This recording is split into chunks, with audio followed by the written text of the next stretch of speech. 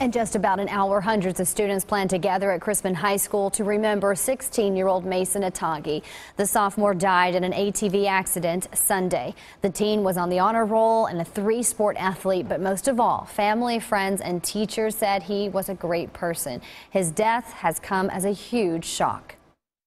Yeah, it's kind of a big thing in the family. We love four wheelers, we love hunting, farming, you know.